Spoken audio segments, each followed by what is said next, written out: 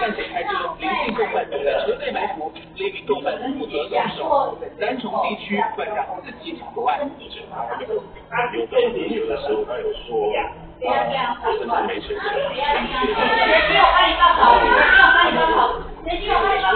上没有钱。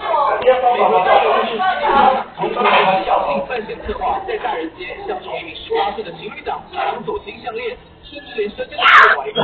绝妙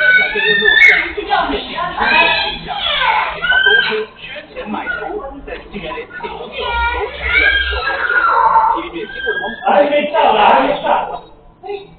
场景飞机大道乘客美美二十八岁的朱杰六年前就开始六年我们匆匆变了外籍人的就占大约不到十四个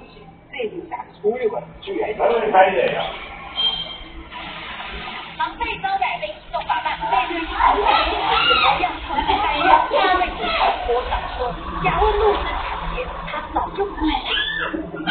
他就是来自，来自，来自，